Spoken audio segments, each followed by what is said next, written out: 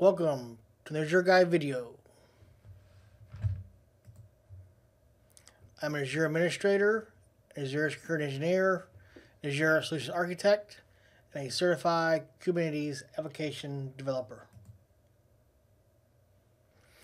If you want, if you wish to watch videos on how to set up a cluster so you can follow along, please see my Lab 1 and Lab 2 videos in the CK, CKA playlist.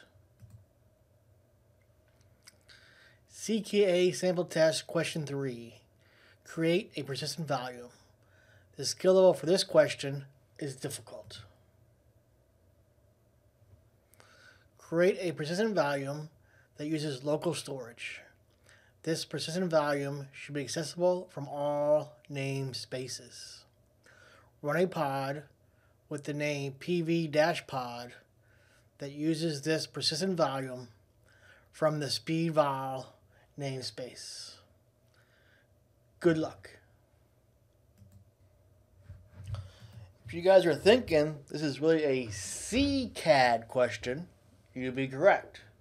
This is uh, about 60% of the exam overlaps between the CCAD and the CKA. So uh, if you already had your CCAD, this is probably a pretty easy question. If you haven't taken the CCAD exam, I'm rating this question as difficult. So uh, let's get started. I think the best way, again, to answer this question is start with the documentation.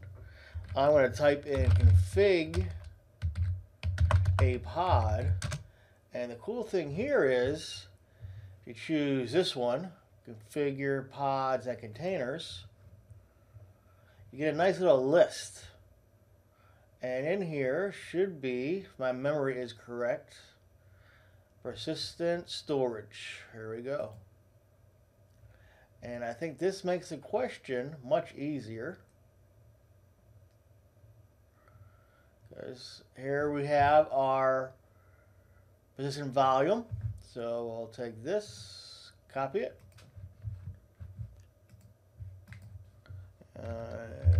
Vim, and we'll call this question 3.yaml.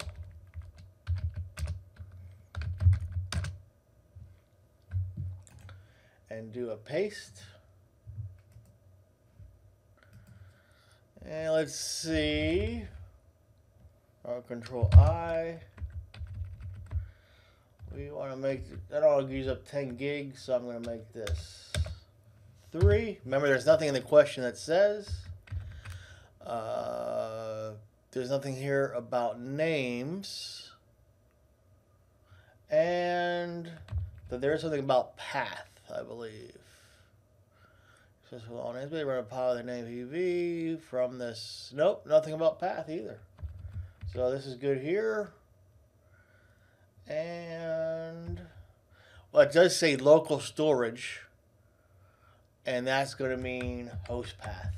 So you do have to know that. And also mentions something about from all namespaces. Well, it's a little tricky there because persistent volume doesn't have namespaces, so it's automatically accessible from all namespaces. So I'm not going to change anything here except for this three gigs. So I'm going to come down here, do three lines. That allows me to put another YAML file in here. So I'm going to go back to documentation, persistent volume claim. You need that. And that is a namespace. So I'm going to say paste.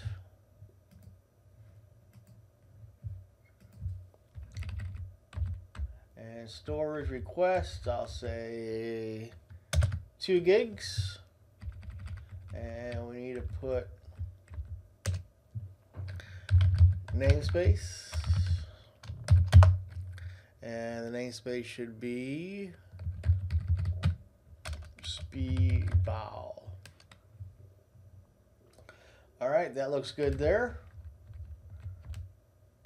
Now we need to make the pod. back to our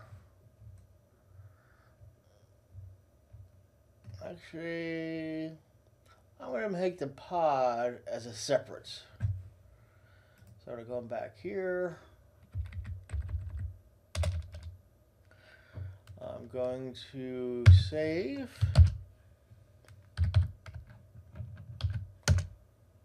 I need to make that namespace.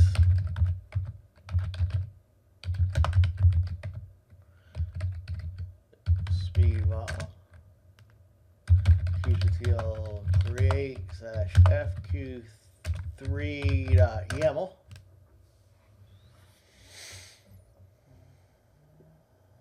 Okay, so it looks like we got our persistent volume created and then our claim. And we do a cube, test little things out, kubectl, get persistent volume claims, namespace, speed.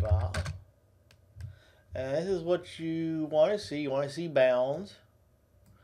And it's bound to the volume. So everything looks pretty good there. So let's go ahead and create our Q3 pod.yaml. I think we already pasted it correctly. Oh no, we lost it.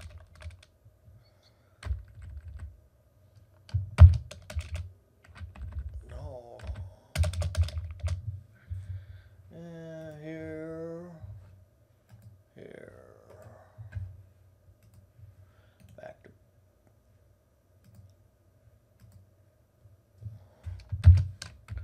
Oops. Okay, so now you don't really need any of this, but I'm just going to leave it. Not going to hurt us on the question. And we do need to put this in our namespace.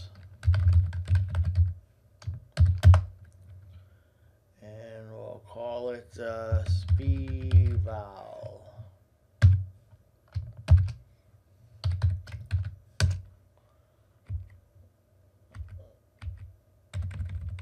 And we call it Q3 pod.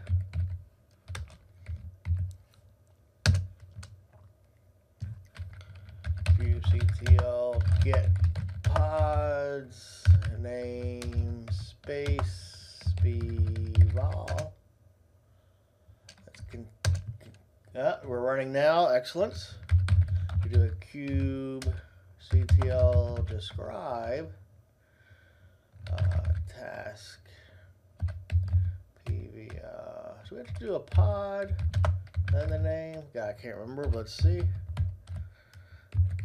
Pod. Namespace. And everything looks good there. We come up here. We should see our volume. We're in the correct namespace, which is excellent. And here is our persistent volume information. So another question, all credits. Excellent.